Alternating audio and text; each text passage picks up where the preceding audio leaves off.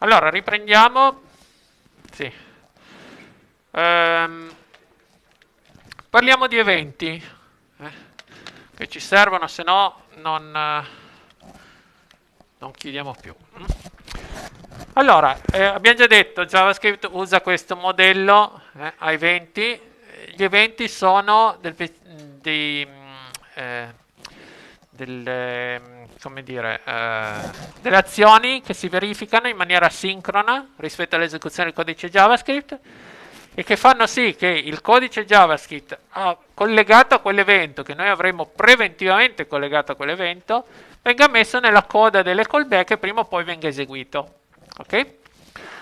Quindi ehm, ci sono eh, eh, diciamo eh, gli eventi, anzi scusate, gli eventi si ehm, eh, determinano ehm, eh, quando questi eventi nascono, nascono collegati a un, un certo elemento nell'HTML. No? Ehm, vedremo il click, l'esempio più semplice, ho cliccato su qualcosa, eh, c'è, c'è, un certo elemento HTML che ho cliccato. Ehm, e poi eh, ovviamente ci sono eventi di diverso tipo, cioè appunto click, doppio click, ho spostato il mouse, ho, ho scritto qualcosa con la tastiera e così via. Eh, quindi ci sono fondamentalmente due elementi che caratterizzano l'evento. No?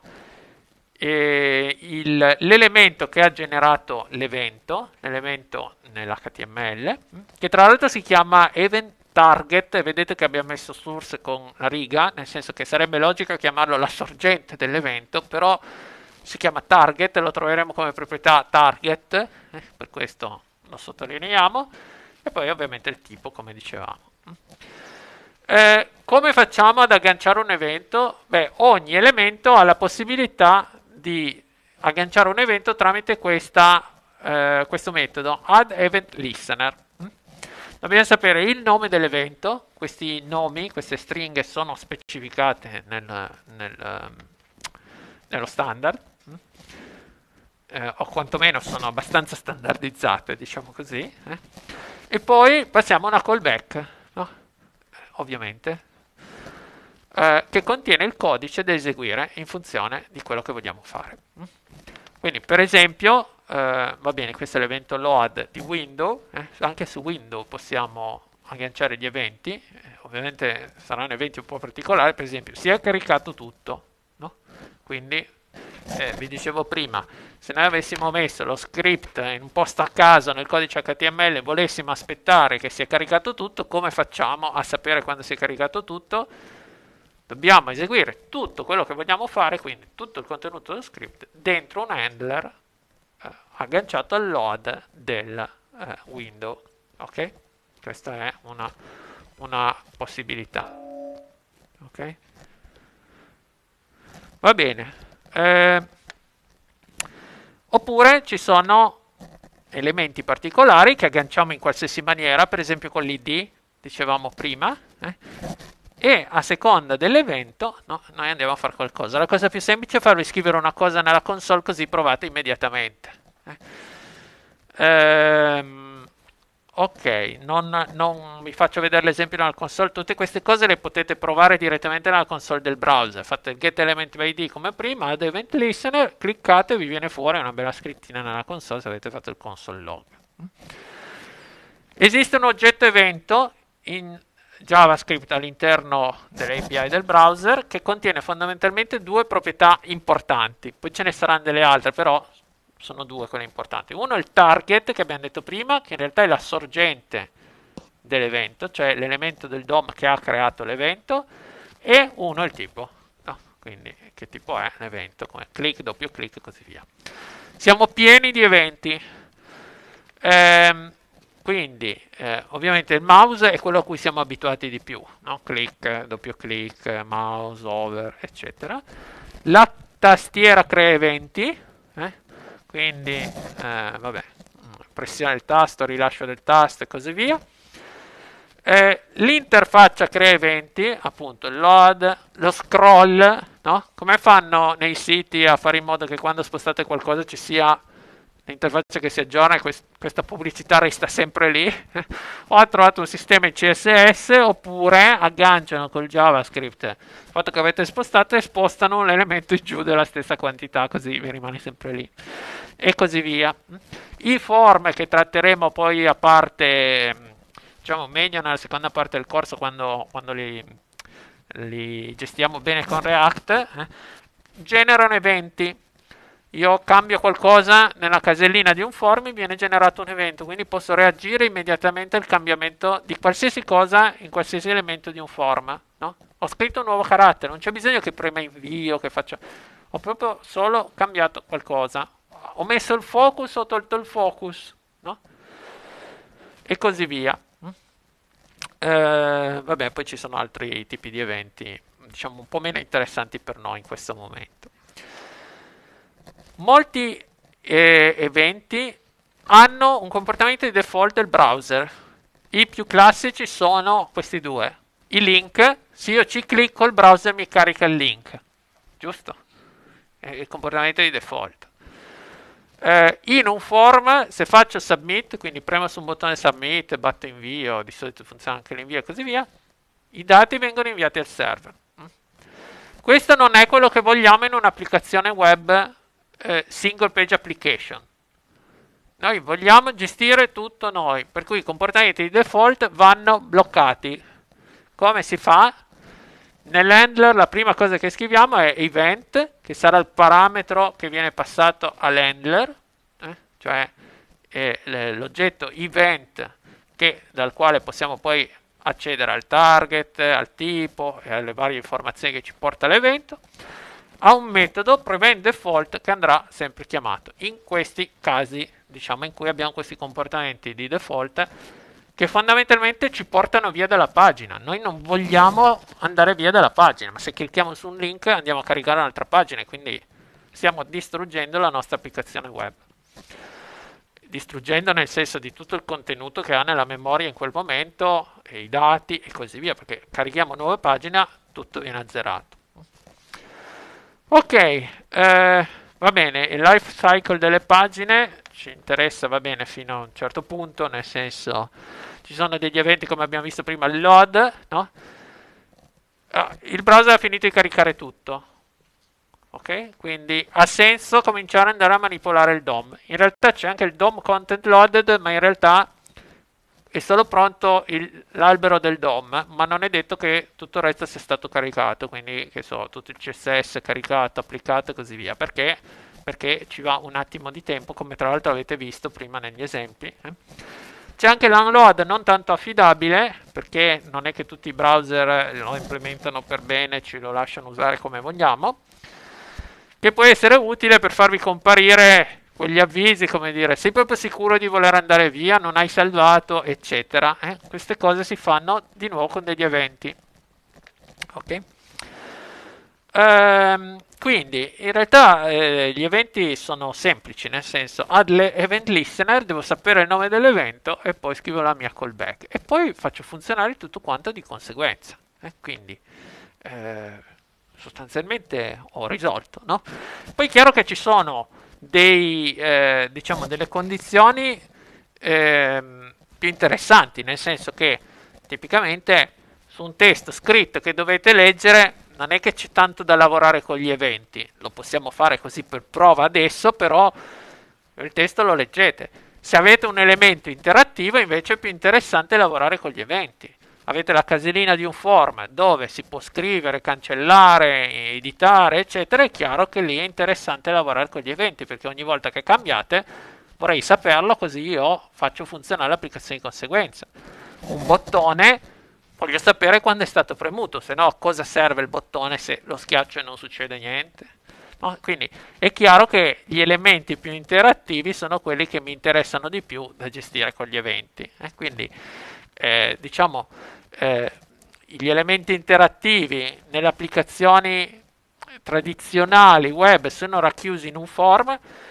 Eh, in realtà nelle nostre applicazioni single page application, siccome gestiamo tutto da JavaScript, questa cosa ci interessa fino a un certo punto, diciamo che più che altro dobbiamo fare attenzione a evitare che la pagina si comporti come eh, diciamo, un'applicazione di vecchio tipo, quindi se facciamo il submit del form che parte al submit del form, ok?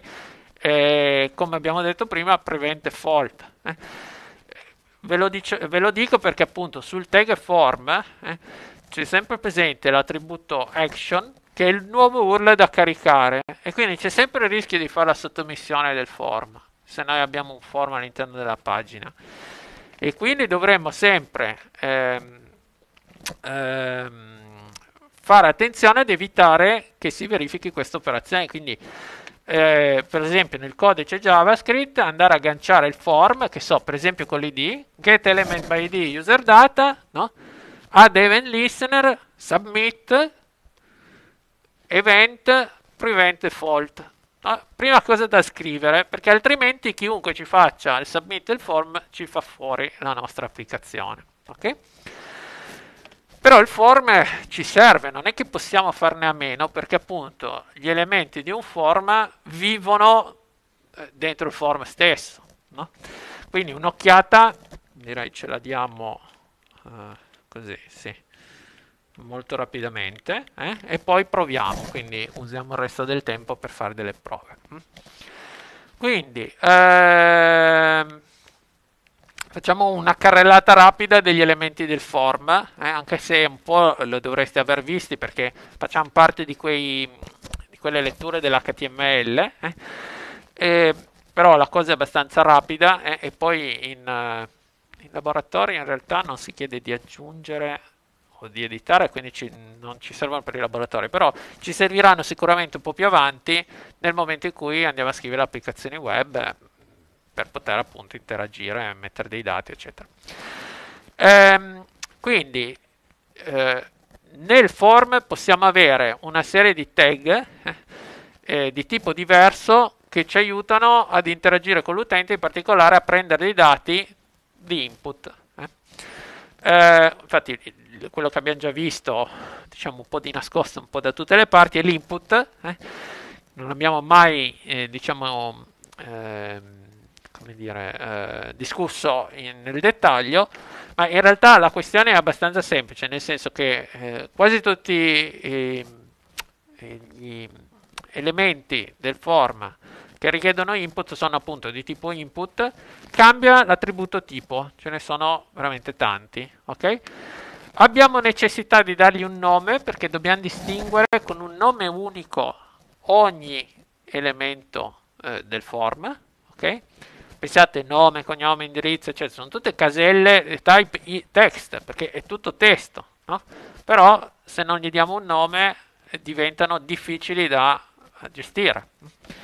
In realtà potremmo, potremmo dargli un ID, eh? però questo, come dire, eh, rimane, eh, rimane poi gestibile solamente da JavaScript. Eh?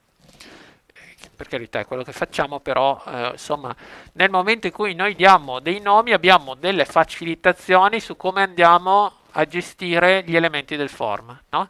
perché avria- abbiamo un particolare ehm, eh, proprietà di document che sono tutti i form contenuti nel documento. Quindi se noi mettiamo il tag form e poi mettiamo i vari input con i vari name, eccetera, eccetera, ci ritroviamo tutto facilmente accessibile senza neanche usare il get element by id eccetera eccetera eccetera ok? Questo perché? Perché in realtà javascript è nato molto prima no? di adesso eh, dove ah, facciamo le single page application eccetera. E quindi si voleva un metodo semplice per accedere con javascript agli elementi di un form perché javascript è nato per gestire un minimo di interazione con l'utente con i form. Poi adesso noi lo usiamo per fare tutto però è nato per quello. Eh? Quindi questo è il motivo per cui trovate questa possibilità. Esistono tanti tipi di input, eh? Eh, alcuni disponibili sono in HTML5, ma diciamo che fondamentalmente potete usare tutto perché oramai tutti i browser supportano ampiamente HTML5. No? Quindi, eh, che so, caricare eh, un colore, no? pensate al pasticcio che sarebbe selezionare un colore se non aveste un controllo apposta che fa venire fuori qualcosa in cui il colore è facilmente selezionabile, per esempio, e, e così via. La data, no? il famoso calendarietto, per carità si può scrivere marea di codice JavaScript per farlo apparire, gestire e così via, useremmo comunque una libreria, no? perché non è l'obiettivo di questo corso, però c'è un controllo apposta. Bisognerà solo un attimo imparare come funziona, ci ritorna una stringa, non ci ritorna l'oggetto dayJS, perché dayJS è una cosa che abbiamo scelto noi, no? eh, bisogna un attimo vedere cosa ci dà, però una volta che sappiamo come funziona, cosa ci dà, saremo in grado di andarcelo a gestire e questo vale un po' per tutti i controlli. Eh, va bene, radio button, range, eh, submit il bottone, eh, va bene, tutto il resto insomma fondamentalmente ce li, ce li possiamo guardare. Ecco, possono essere in diversi stati, eh, eh per esempio read only, eh? ogni tanto vi capita di vedere i forum con contenuto read only, e l'HTML che dice che è read only. Queste sono tutte proprietà di nuovo manipolabili dal JavaScript. Quindi nel momento in cui io decido che l'utente non deve più toccare una cosa, get element by id, oppure eh, prendi nel form eh, x eh, l'elemento di nome, non lo so, indirizzo, eh, read only uguale true. Fine, l'utente nell'interfaccia non lo può più toccare. Ok? Ehm, vabbè, size, value, ecco, value è probabilmente quello che userete di più perché vi va a recuperare il valore nei, nei campi dove è possibile input libero. Eh, e vabbè, anche nelle selezioni, eccetera. Eh, io non la taglierei un po' corto su questo discorso perché appunto quando c'è bisogno uno va, va un attimo a vedere.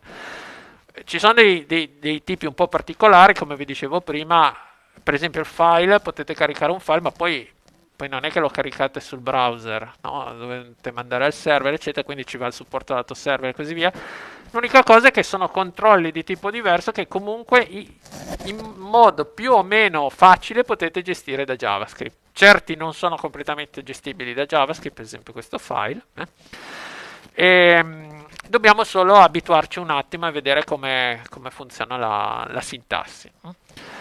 Vale la pena di conoscere questo label e for perché? Perché oggigiorno che si eh, creano siti che sono visti su dispositivi mobili con uno schermo un po' più limitato, eh, usare la label ci consente di rendere eh, diciamo, lo spazio in cui si genera l'evento, cioè l'area diciamo così cliccabile o comunque eh, selezionabile un po' più grande eh, e quindi questo è il maggior vantaggio di, di questo eh, dell'uso della label, no? cioè anziché dover cliccare solo qui a destra sulla casellina, cliccate su qualsiasi cosa collegata a questa casellina con questo for id, eh? quindi su una mettete l'id e sull'altro mettete il for e diciamo tutto corrisponde allo stesso oggetto uh, dal punto di vista dell'evento. Va bene, text area lista, eccetera. Io direi che queste cose, diciamo, quando ne avrete bisogno, andate un attimo a cercarle, fate prima ed è meno noioso per tutti. Posso ecco dirvi magari solo qual è la differenza tra il, il, il tag button e l'input type uguale button che esiste, no? Qual è la differenza? La differenza è che se avete il tag potete scriverci dentro. Eh? Se avete invece l'input type button non prevede la possibilità di scrivere dentro il tag. Quindi, per esempio, non potete mettere con l'input type button un'immagine dentro al bottone, mentre col button, siccome dentro potete scriverci quello che volete, testo, immagini, caricare quello che volete, potete rendere qualsiasi cosa un bottone. Ok? Questo diciamo è quasi però una, una curiosità. CSS abbiamo visto, usate Bootstrap, usate una libreria che abbia degli, dei default ragionevoli, no? Altrimenti vi ritrovate, beh, non in questa condizione, ma in quella di prima, cioè che ogni browser fa un po' come gli pare. Eh? Invece una libreria CSS ha cercato di uniformare un po' l'aspetto. Eh, appunto, quindi usiamo librerie eh, quando necessario. Se il controllo, cioè che so, non ci piace come funziona la data, la selezione del colore, eccetera, eh, non è che abbiamo tante alternative, andarci a cercare una libreria che ci implementi qualcosa che, che ci piace e, e funzioni bene, e funzioni come lo desideriamo noi. Eh, boh. eh, ecco, vi faccio vedere quest'ultima linea, poi proviamo. Eh. Quindi diciamo che noi nella nostra pagina abbiamo un form, no? Quindi document query selector form abbiamo preso il primo form presente nella pagina, cioè il tag form, add event listener, evento submit, callback, callback prende come parametro l'evento, okay, che posso anche ignorare però qui mi serve, vedete cosa si fa per prima cosa, event prevent default, ok? Quindi eh, questo è un esempio di come scrivere il codice per mettere quel prevent default sul form che vi dicevo prima. Ok? Ma in realtà adesso non guardiamo i form, eh, qui abbiamo finito, ma andiamo a fare un po' di ehm, come si dice, manipolazione del codice ehm, HTML sulla base di eventi che generiamo dentro la nostra pagina. Useremo principalmente il click perché è la cosa più semplice, eh? Eh, però di per sé potete poi estendere tutto come, come desiderate. Quindi eh, prendiamo, prendiamo le exams, quindi dovreste averla, e chi di voi ha fatto pool ce l'ha. Andiamo a caricarcelo, uh, quindi exams ok eh, non prendo quello in cui il codice JavaScript mi crea la tabella ma fa lo stesso è solo una questione di comodità nel senso bon, parto di qua perché così vediamo già l'HTML nel, nel Visual Studio eh, e, e, e c'è un attimo più immediato ragionare sull'HTML. Però di per sé poi la rappresentazione della memoria per il browser è identica quindi non ci cambia niente Va bene, ehm, agganciamo un evento eh, a che cosa? Boh, alla tabella, eh, per esempio potremmo, non so, poi agganciamo il bottone, eh. proviamo prima a agganciare qualcosa sulla tabella. Eh. Quindi io clicco, tanto per farvi vedere che si può cliccare dovunque, non ho un form, non ho niente, no?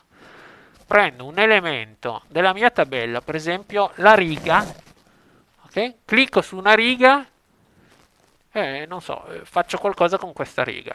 Per esempio, non lo so, vado a recuperarmi il voto eh, e me lo faccio comparire nella pagina. Oppure faccio, comincio con un console log, che è la cosa più semplice per iniziare, e poi me lo faccio comparire da qualche parte. Eh, quindi mettiamo un po' insieme quello che abbiamo visto stamattina, prima. Allora, exams. Prima di tutto carica eh, il nostro codice, quindi c'è exam scripts. Uh, ok, quindi c'era l'ora che girava, sì. Allora possiamo lasciar lì, eh? non c'è nessun problema. Ok, allora, eh, recuperiamo eh, il, ehm, eh, dunque, la tabella. Dobbiamo recuperare le varie righe. Su ogni riga mettiamo un event handler, ok? Poi se vi piace di più cominciamo a mettere l'event handler sulla tabella, fa lo stesso. Comunque, numero uno, recuperiamo la tabella. Quindi document get, dunque abbiamo un'unica tabella, però avevamo anche l'id nella tabella, vero? Quindi mi sembra... Uh, no, eh, ce l'avevamo su score table. Allora lascio perdere, nel senso, posso anche fare get element by id e poi prendere il children, eh, for child, che è la tabella. Eh vedete voi, insomma, qui è una questione di come uno si organizza il codice, no? Eh, facciamo il uh, get, uh, fac no, facciamo il query selector, eh? così facciamo pratica, che non abbiamo mai tanto fatto pratica col CSS, vabbè che questi selettori sono così semplici. Table, eh, table, in realtà, in realtà volevo dove JTable eh, boh, posso posso in realtà prendere tutti i tr no? quindi voglio tutte le righe ok? Quindi query selector all, se no mi prende solo il primo. Se ritornate sulle slide vedete che query selector seleziona il primo che fa il match con quello che gli diciamo. E noi scriviamo, scriviamo così, eh, uh, dovrebbe andare table tr, vero? Table tr, ok? Perché non scrivo solo tr? Wow, mi piace così. Abbiamo cambiato selettore, ok? Giusto per dire, prendiamo tutti i tr che sono sotto table, ok? Ci fosse il t-body potremmo dire lascia perdere il t-head che non ci interessa, prendiamo il t-body, ok? Il t-body qui non c'è, boh. Ma tanto per farvi vedere che i selettori sono anche abbastanza flessibili. Eh? Eh, poi se vi dà fastidio prendiamo solo i TR e via, perché tanto c'è un'unica tabella. Eh? Uh, ok, questa roba la devo mettere da qualche parte. Metto in un secondo me si può mettere in un costo. Rows, eh? ok? E poi for. Vi ricordate ancora come si fa un for su un array? No? Abbiamo detto non è proprio un array, ma il for funziona, il for each funziona. Eh? Potremmo anche fare un for each, fa lo stesso. Insomma. Row, eh, non in, ma off, rows. Ok? A questo punto facciamo row uh, const, ho dimenticato, o const o let, insomma, mettiamo const abbiamo detto. Uh, row ci sarà add event listener, no? È un, è un uh, elemento, quindi deve esserci add event listener. Se non ve lo suggerisce il Visual Studio è un problema di Visual Studio, eh? ricordate sempre di non farci estremo affidamento, un po' va bene, ma... Hm? Allora, l'evento che mi interessa, ho detto il click, ok? Che si chiama click, l'abbiamo visto, spero nelle slide, mi sembra di sì. Vabbè, comunque, se no, mettete event, eh, DOM events, eh? Vabbè, Butter School non è troppo il massimo, eh, facciamo, anche se non è sbagliato, eh, però se, se prendete l'MDN è un po' meglio, eh? Comunque, vabbè, sono per categoria, eh, forma, dunque, ci sarà il mouse, mouse, drag and drop, gesture, mouse, ok. Quindi, ecco, click, double click, che non si scrive double, dovete solo andarli a cercare, ma questione un attimo si trova tutto, poi insomma i più comuni. Poi callback, no? Ad event listener, callback, event, freccia. Cosa facciamo? Eh, iniziamo con la cosa più semplice, console log. Eh? Cosa stampiamo? Volete, mettiamo cliccato, va bene, eh, la stringa fissa, eh, ci verrà fuori cliccato. Mettiamo qualcosa di un po' più furbo. Eh. Event, proviamo event target, ok? Vi ricordate target è l'elemento che ha generato l'evento, ok? Non è, si chiama così, avessero chiamato source era meglio, ma... ok? Va bene, eh, e adesso questo, e questo ci basta nel senso che di per sé se funziona eh, eh, dovremmo già incominciare a vedere qualcosa no?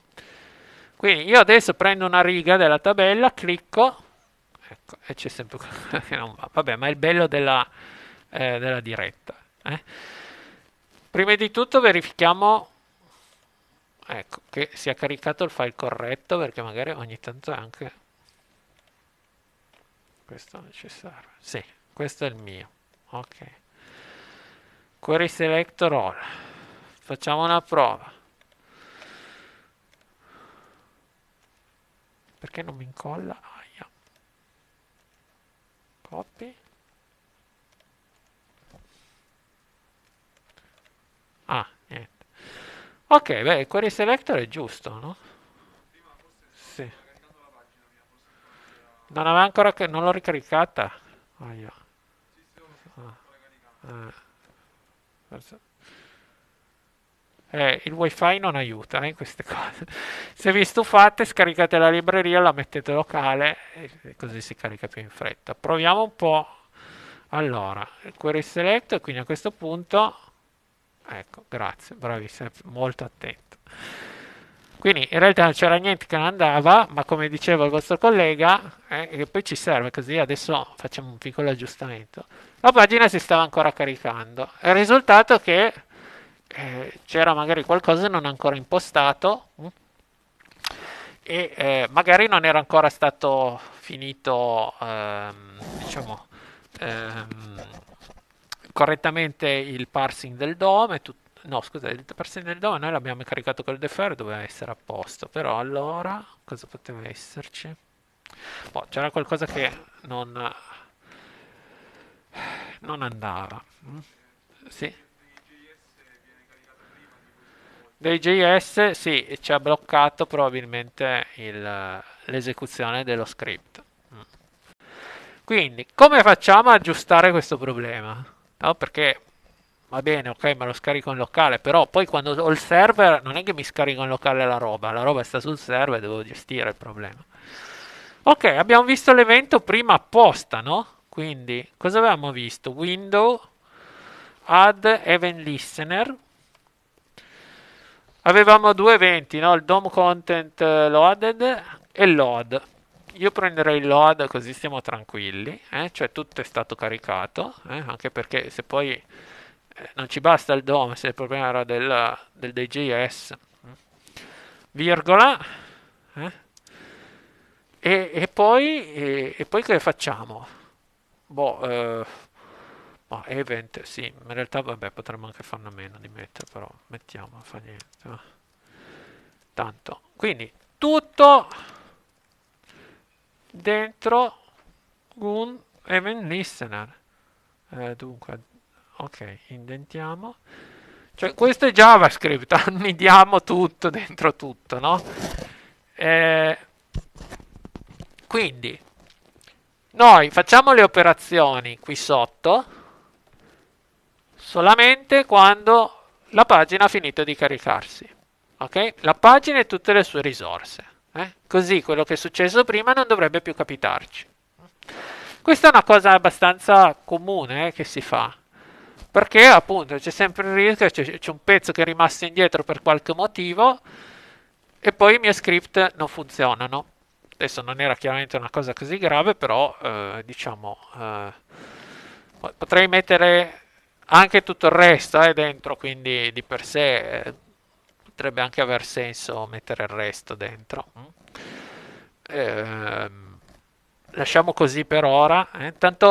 Tanto, appunto come vi dicevo, noi oggi proviamo un po' così e poi tutto questo non lo useremo mai, perché se usiamo React ci penserà React a fare in modo che il codice dell'applicazione venga eseguito quando la pagina sia caricata e tutto quanto, se no se non fa quello tanto vale che scriviamo noi il codice JavaScript, ok? Benissimo, quindi andiamo a riprovare, eh, quindi riprova a ricaricare tutto, ok? Prova a cliccare, oh, stavolta funziona. Quindi clicco sull'ultimo, apriamo l'ultimo, purtroppo è un po' scomodo da leggere, adesso ci facciamo stampare qualcosa di più carino. E però vediamo è networking, quindi era il TD relativo al networking perché il primo figlio è il testo networking, ok? Va bene. Quindi il click funziona. Il click funziona e ho fatto il console log corretto, ok? Uh, potrei... Ecco, vi faccio vedere che stampo row, ok? Perché? Perché ci facciamo una piccola riflessione sopra. Quindi ricarico. Clicco la prima riga. Quindi questo a sinistra è l'event target e questo è il row, ok? Che sono la stessa cosa in realtà, eh? Perché, no scusate, uno il tr, perdono, è il row, ok? L'event target io ho cliccato sull'elemento. Ok? Se io clicco qua sul button, ok? Mi viene fuori button che è l'event target e questa è la row. È la row giusta, eh, notate. web application 1 no? se io la apro da qualche parte c'è scritto web application sì questo lì in HTML no? è, è il web application 1 com'è che fa a ricordarsi il codice che è la row giusta? mi raccomando, all'esame eh, non cascate su una domanda così banale oramai. Eh? Cioè, questa, questa, è una funzione, no? event, eccetera. Ce la salvate nello scope, si è fatto la closure su row, ok?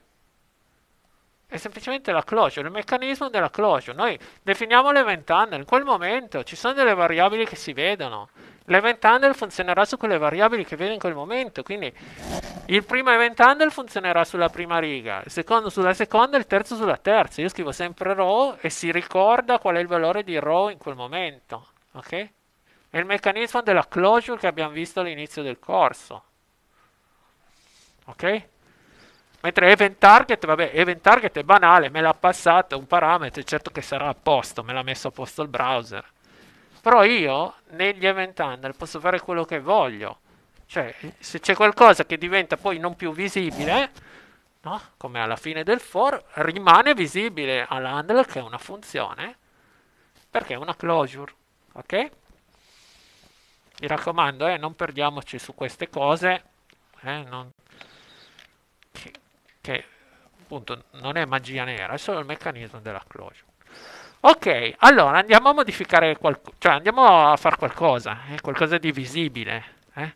Quindi va bene la console log che, che ci diverte. Mm? Però eh, prendiamoci per esempio il voto e ce lo scriviamo da qualche parte nella pagina, così facciamo una piccola prova. Mm? Come facciamo ad andare a recuperarci il voto? Mm?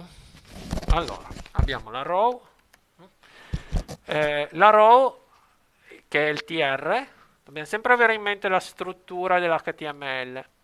Il tr ha 4 td dentro, No? Andiamo a vedere la pagina. Il TR ha 4 TD, nome, voto e, e così via. Ok? Quindi andiamo a prendere i figli. Questo è un esempio, eh, possiamo diciamo fare saranno tante strade alternative, però per esempio c'è la proprietà children, eh? prendo children 1, eh? iniziano da 0, un array, eh? 0, 1, 2, 3, ce ne sono 4, quindi children 1 alla seconda colonna e poi come faccio a prendere il contenuto prendo inner l'abbiamo usato prima inner text come ci posso scrivere dentro lo posso anche leggere eh? ok voto quindi const eh, voto uguale ok ho recuperato il voto e adesso lo prendo e lo metto da qualche parte dove lo metto mettiamolo io avevo preparato, ecco, rispetto al HTML l'altra volta ho messo questo P, eh? però non mi piace di nuovo P, metto div, ok? Non so più perché ho messo P, div, eh? e dai, div, perché dentro ci metto dei P, eh, non, non, scrivo del testo così perché sennò viene uno dietro l'altro, potrei fare dentro inner text, ma poi non è che posso mettere backslash n in HTML, non si va a capo così, si deve ragionare sul layout del testo, sono paragrafi, se proprio volete c'è il tag br, non è il massimo, però insomma... Eh, quindi id comment, quindi ho messo apposta questo id, eh? O, o id, quello che volete, insomma. Uh, quindi a questo punto document.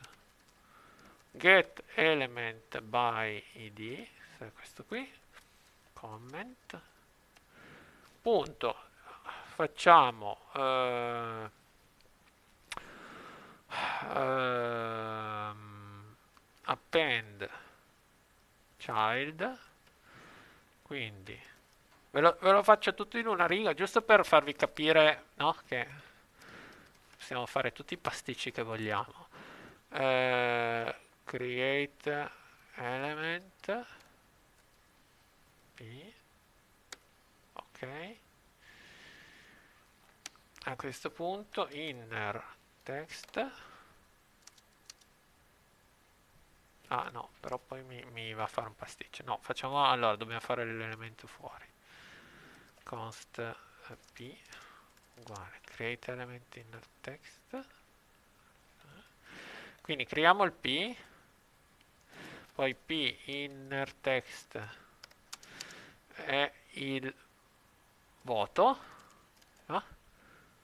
Che numero, che stringa, non importa, si aggiusta JavaScript, lo sapete, eh, fa la conversione se serve. Tra l'altro qui sarà testo, eh, perché noi l'abbiamo scritto come testo in HTML. Eh, quindi a questo punto niente.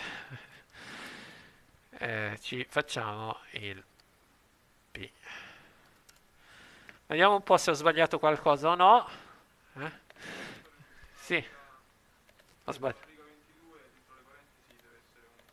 Ha ragione, è una stringa, se no ci dà undefined, no? Ok, grazie. Così risparmiamo tempo. Eh?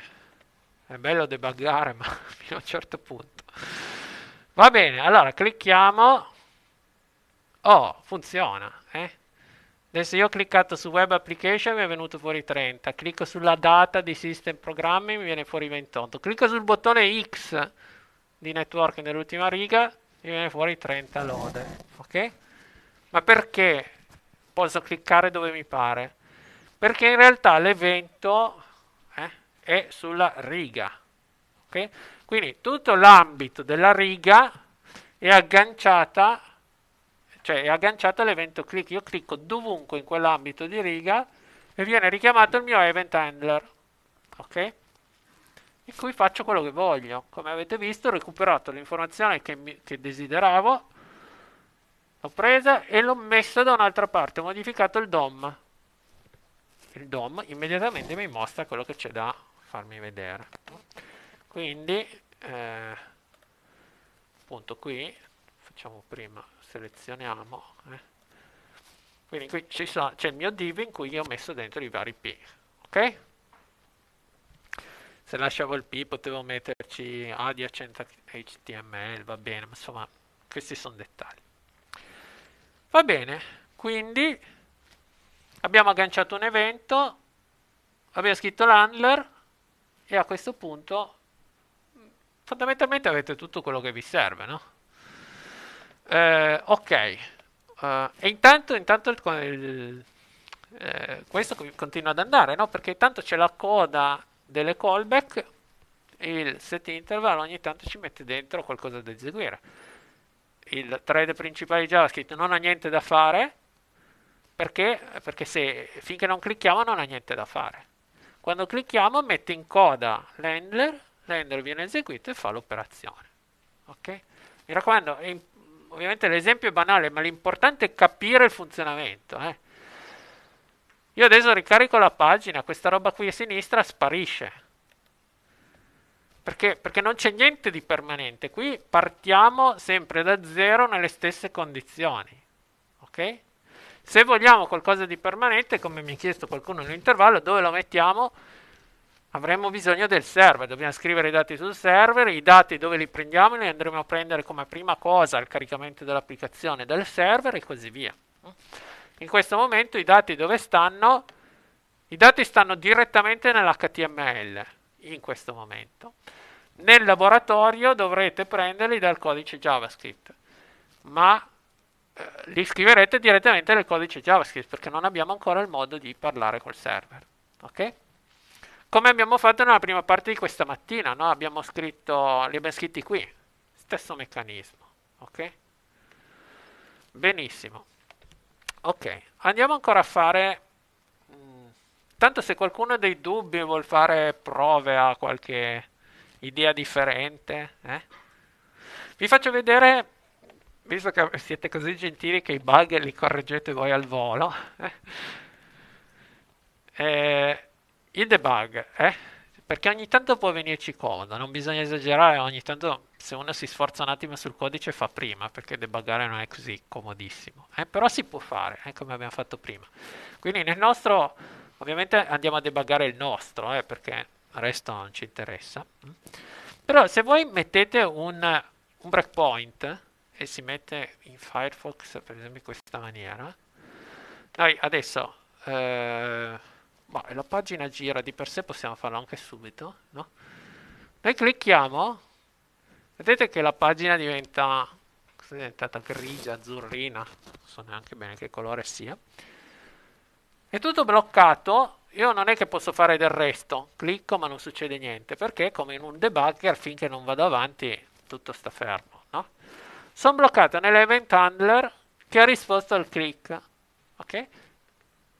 Eh, prima di tutto devo chiedermi se il posto dove devo stare nel momento in cui ho fatto quell'azione va bene.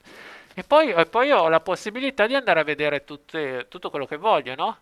Quindi voto è 30, in effetti io avevo cliccato sulla prima riga, row, eh, vabbè, non, non, sempre è comodo, eh, però diciamo che eh diciamo la, la, ci sono, c'è la possibilità di ispezionare come in un debugger qualsiasi tutte le varie variabili, no? come avevamo visto in Visual Studio Code quando avevamo Node. Per esempio, giusto per farvi vedere cosa c'è in Event, No, noi abbiamo visto target, eh, tipo, però per esempio ci sono anche le coordinate dove ho cliccato, c'era il control premuto, no, cosa, insomma tante cose che un domani potrebbero tornarvi utili, anche se abbiamo detto va bene, poi facciamo con, eh, eh, con React. E poi, e poi, vado avanti passo passo, eh, quindi eh, piano piano, quello era il breakpoint, adesso su, su questa linea il P, il P me l'ha creato, ci sarà dentro 30, cioè 30, adesso me lo appende e comparirà, ok? È comparso lassù, ok?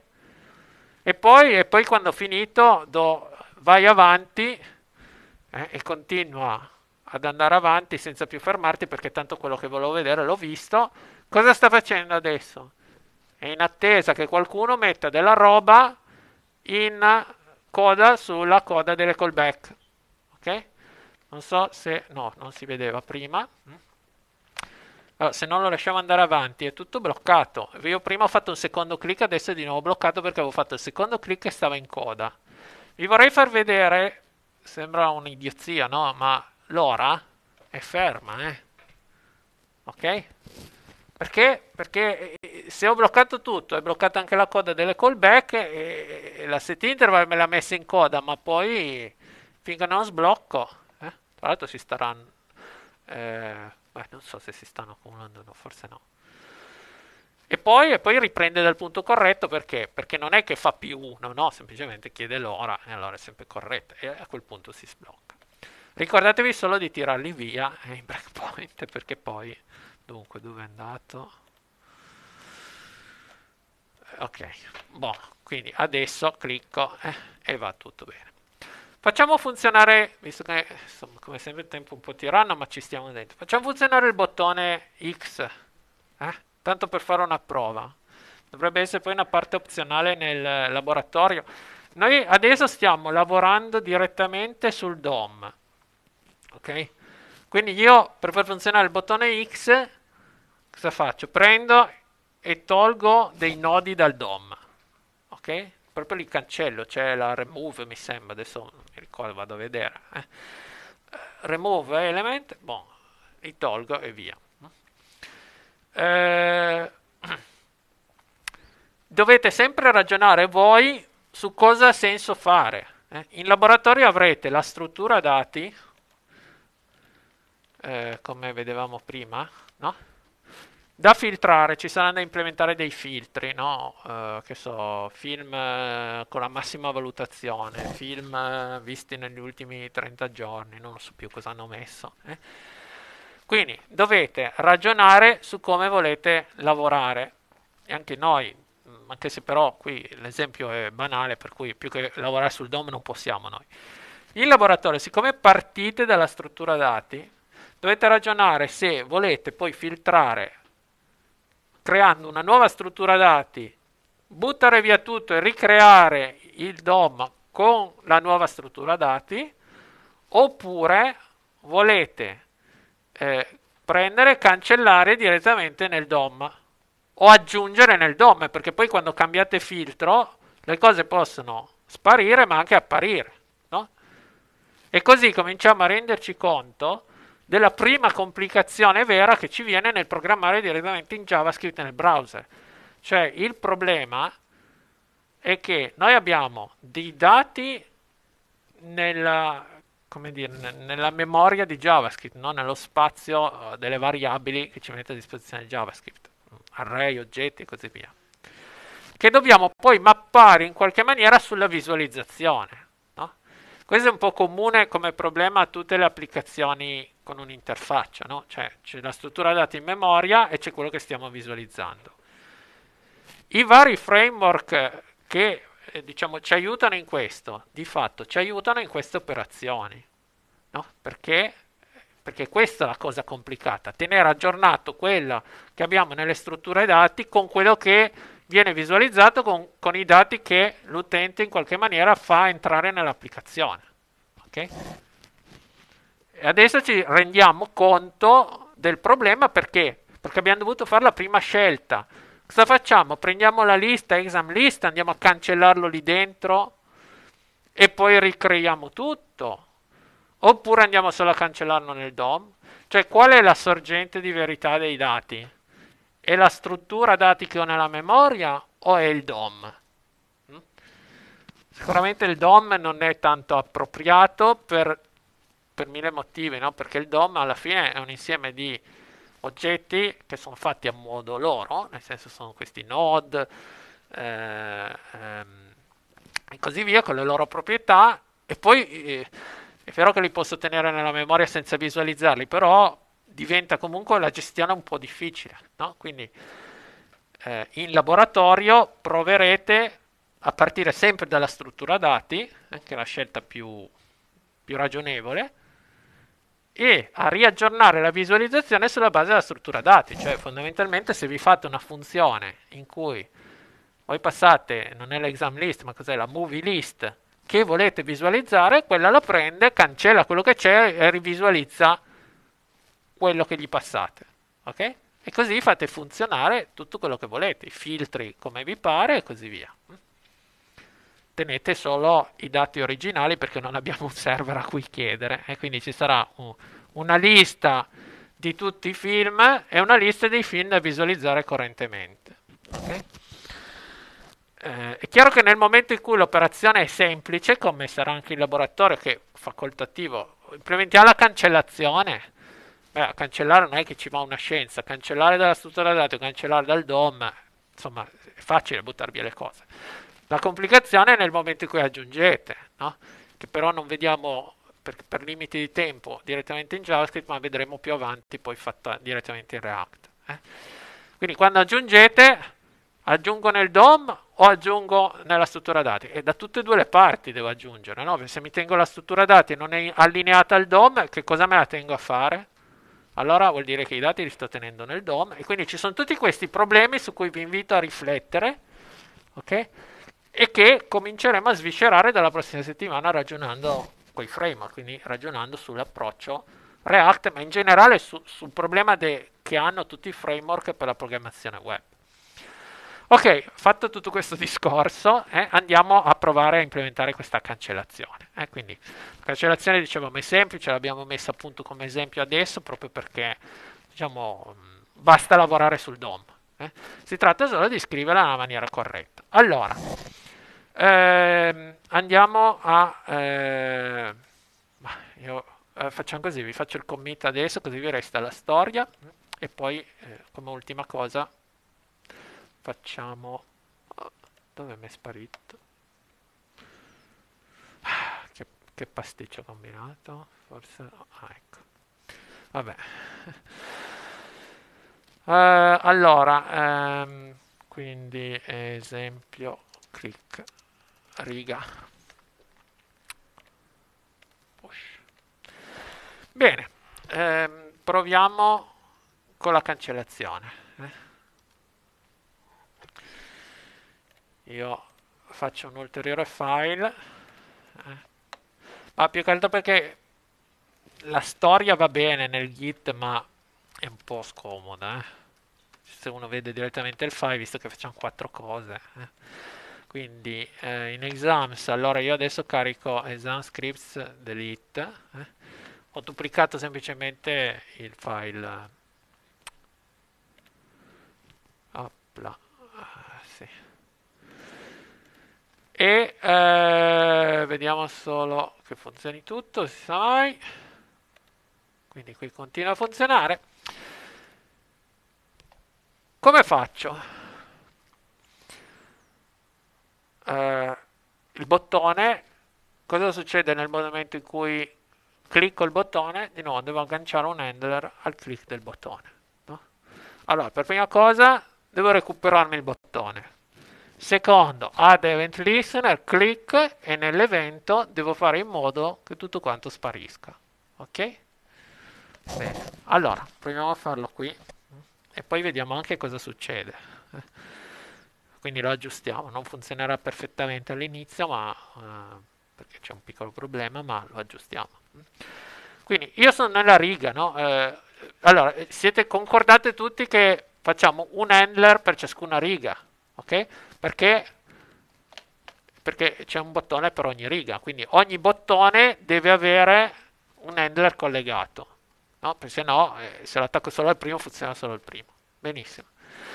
Quindi, row, prima di tutto recuperare il bottone, eh? query selector, io, vabbè, così, fate come volete, nel senso che eh, possiamo, potete fare come volete, get element by name va anche bene, eh? ma tanto per fare un po' di pratica facciamo un po' di variazioni. Eh?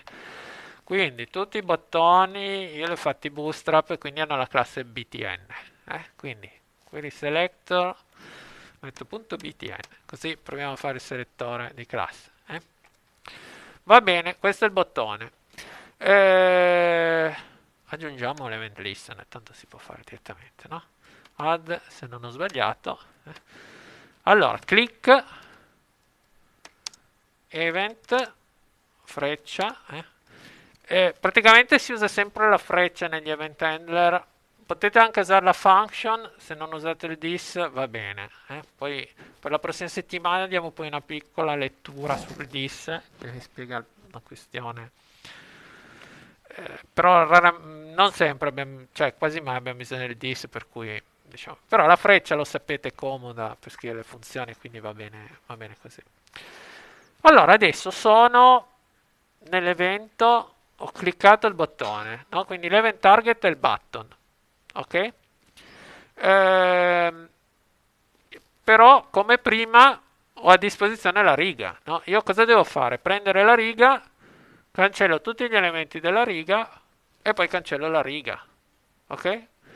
Fra l'altro se faccio così, se andate un po' a cercare, se non sbaglio, eh, mentre cancello un elemento con le sue funzioni proprie, se ci sono degli event listener attaccati vengono scollegati. Eh? Quindi non devo fare remove event listener. Quindi sul bottone in realtà dovrei fare remove event listener, ma per una questione solo di leak di memoria, eh, perché tanto nel momento in cui l'oggetto non esiste più non è più cliccabile, per cui quell'event handler è lì ma non farà più niente, perché non, non, nessuno può generare un evento che lo richiami. Va bene, allora prendiamo la row. Eh, la row, eh, allora, eh, se non sapete da che parte iniziare, eh, fate delete. Eh, eh, children js dom. Qualcosa così. Adesso se la rete ci assiste non sembra dobbiamo spicciarsi un po' vabbè ci sono i vari stack overflow eccetera se trovate ah, ieri mi veniva fuori quello del eh, mdn va bene. Comunque andate a dare un'occhiata eh? Eh, forse JavaScript tutorial mi sa è un po' migliore.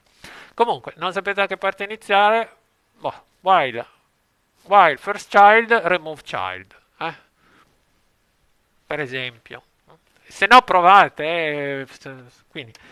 Allora facciamo while row uh, first child uh, row uh, dunque cos'era remove child row first child. Mm? Cioè cosa vuol dire? Ciclo su tutti i figli di row, quindi i vari tag td, finché sono eh, non falsi, cioè truzzi, cioè non sono un riferimento null, no? Se non ha, nu, se non ha niente come figlio, mi verrà fuori null eh, e, e, si interrompe il while, no? E faccio remove child di che cosa? Del first child. Via. Ok, quindi. Eh, e poi... Eh, e poi devo rimuovere la riga eh? quindi posso fare const parent uguale row parent eh? ok e poi parent remove child per eh, row, row, e basta no? ok sì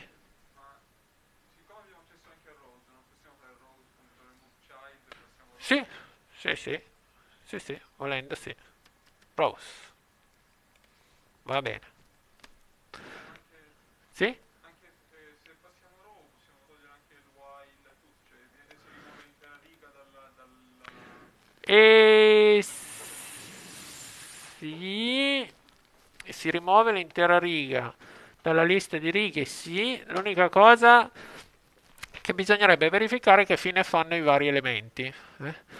Nel momento in cui non li distruggo, può darsi che il DOM sia furbo e diciamo ce li cancelli eh, perché alla fine però, però non lo so se il DOM è così furbo bisognerebbe un po' andare a cercare perché se io avessi agganciato con un figlio da qualche parte con un riferimento poi se il DOM me lo distrugge e non sa che c'è questo riferimento cioè, io poi cosa ne faccio con i riferimenti? C'è qualcuno che sotto il naso me l'ha, me l'ha distrutto, no? E, ehm, quindi, così a naso, non lo so, non vorrei dire una cavolata, bisognerebbe cercare.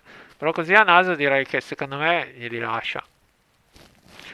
A meno che magari c'è qualche opzione che, che gli dice di, di, esplicitamente rimuovere i figli, perché appunto c'è questa questione di riferimenti in giro. Se fossero oggetti di JavaScript e basta, semplicemente ci penserebbe JavaScript, no? Io quando cancello un riferimento a qualcosa, se, se non ho più riferimenti eh, interni, che so, dell'oggetto che ho cancellato, prima o poi il garbage collector li tira via, ok? Nel DOM non lo so, bisogna un attimo fare, fare attenzione, ok? Comunque, diciamo che in qualche maniera eh, eh, abbiamo eliminato questi elementi dal DOM. Vediamo se effettivamente funziona. Eh? Quindi, dov'è? Che perché poi è bello cianciare, però il tempo scorre. Eh? No, allora perché? Console. Allora, prima di tutto, ecco, perché non va? Eh? Bisogna fare un attimo attenzione, perché questo mi è successo ieri mentre lo provavo. Eh? Perché in realtà nelle righe è inclusa, eh? è inclusa anche la prima. Eh? Quindi query selector all table tr, eh? vi do già la risposta perché ci, cioè abbiamo poco tempo, no? e nella prima non c'è un button, eh? E quindi mi è uscito un null, e questa è l'importanza di vedere la console, no? Mi è venuto fuori un null e, e quindi no, non, cioè non, poi non posso farci add event listener ovviamente, no? E, e tutte queste operazioni, no? E quindi cosa faccio? Eh, dunque, qui 27.13, andate a vedere, dove sta? 27, no? Cioè io qui fondamentalmente facevo il button, eh, ma sulla prima riga il button non c'è. Eh? Quindi, allora, facciamo, facciamo, così. Mettiamo tutto in un if per farla breve. Eh? If, eh, non so, que- questa è un'opzione, poi magari appunto qualcuno di voi se ne esce con qualcosa di più breve, più furbo, eccetera. Eh, io ho fatto così. Eh, first element child, tag name eh, to lowercase eh?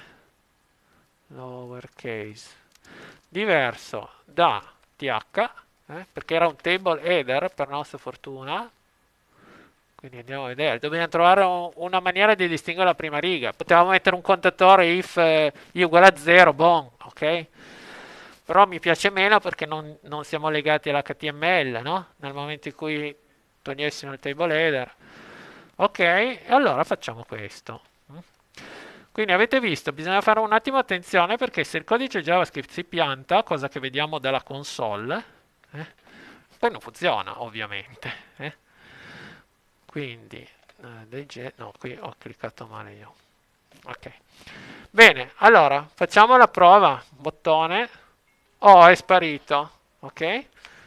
Rose remove child is not a function. Ah, questo mi sa che allora era qualcosa che ci siamo scordati. Eh? Quindi, Rose remove child. Mi sa che Rose, Rose era un array. Quindi quindi la, quello che, aveva, che, ci aveva suggerito il vostro collega eh, no, non funziona, nel senso che è un array eh, e quindi non ha il metodo remove child. Eh, purtroppo no, ma tanto questa roba la vediamo oggi e, e, non la rivediamo più, cioè la vedete in laboratorio però... Eh. Eh, notate, torna tutto perché i dati sono quelli al caricamento. Clic ho sbagliato. Parent. Scusate. Allora. Facciamolo funzionare. Boh. Ho caricato. Parent, oh mio, la fretta è cattiva consigliera. Parent, row parent. Cosa c'è che non va? parent node bisogna fare solo un attimo attenzione a queste cose eh, ma... troppo appunto la fretta ok va bene è sparito adesso c'è ancora row children 1 che però non so più cosa sia ah sì eh, ecco L'ultima cosa, poi chiudiamo, eh, anche perché forse ci aspettano già fuori dalla porta. Occhio che avete due event listener sul click su oggetti uno dentro l'altro. E quindi questo crea un po' un pasticcio. Nel senso che quale viene scatenato? Cioè io ho fatto click sul bottone, ma il bottone è dentro la riga, quindi parte sia l'event listener del bottone sia l'event listener della riga. Ok? che ovviamente non trova più il children perché gliel'ho cancellato sotto il naso e allora si arrabbia e mi si incricca l'esecuzione di JavaScript. Quindi eh, dovete eh, fare attenzione, eh? facciamo così perché la soluzione più breve anche a quest'ora non possiamo fare diversamente. Eh. Quindi un pezzo ce lo mangiamo eh. e adesso funziona tutto finalmente senza errori. Eh. Eh, quindi, occhio che i listener vanno bene, ma dobbiamo fare attenzione a non, eh, diciamo, a non, a non farli andare in conflitto. E ci sarebbe tanto da dire sugli eventi, come vengono gestiti, eccetera, ma visto che poi tanto deleghiamo abbastanza a, a React, eh, questo è il massimo che vediamo per oggi e vi serve al massimo per il laboratorio, c'è tutto quello che vi serve. Mm? Ok, terminiamo qua, ci scusiamo con, col corso successivo, in laboratorio giovedì.